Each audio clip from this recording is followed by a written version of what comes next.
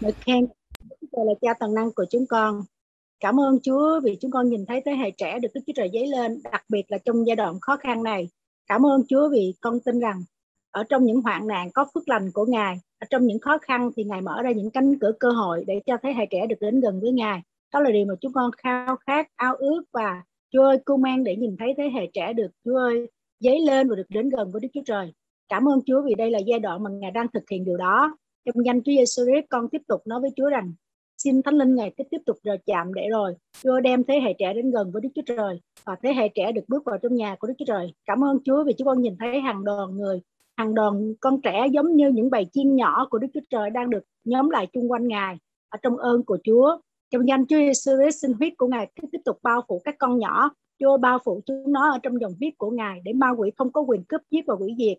Nhưng mà Thánh Linh của Chúa ở cùng để sử dụng các con trẻ đặc biệt là qua mô miệng các con trẻ để tôn cao danh của Chúa. Và con cũng tin rằng đây là giai đoạn mà ngài sử dụng mô miệng các con trẻ để nhắc nhở những người ông những người bà những người cha những người mẹ những người anh những người chị của mình Chúa và những người quen biết của mình và những người bạn bè mình để họ biết Chúa Giêsu Christ bởi vì con tin rằng Đức Chúa Trời sử dụng môi miệng của trẻ thơ để lập nên năng lực của Ngài. Và Chúa ơi, Ngài cũng sử dụng môi miệng của trẻ thơ để cao rao danh của Ngài. Chúng con cảm ơn Chúa.